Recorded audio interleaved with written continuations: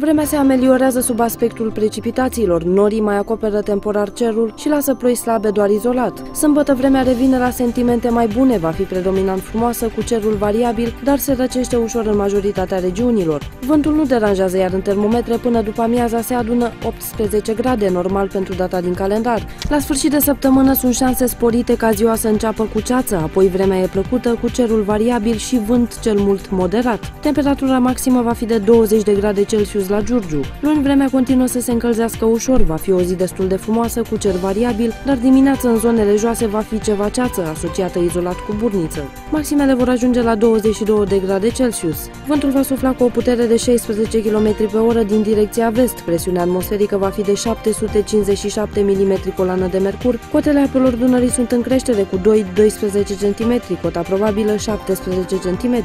Umiditatea aerului va fi de 93%.